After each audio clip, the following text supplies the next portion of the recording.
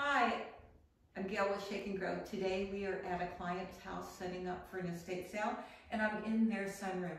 They have all these amazing plants that we're going to have for sale, but some of these plants can use a little boost. Just like sometimes during the winter, we neglect our plants. It's a great time to cut off the dead growth so that you'll have a healthier plant and give them a dose of your shake and grow. You only need like half of a teaspoon in a gallon worth of water and then just go ahead and water them. You can visit our website www.shakeandgrow.com for more information on the sale and about Shake and Grow. We look forward to seeing you soon. Bye.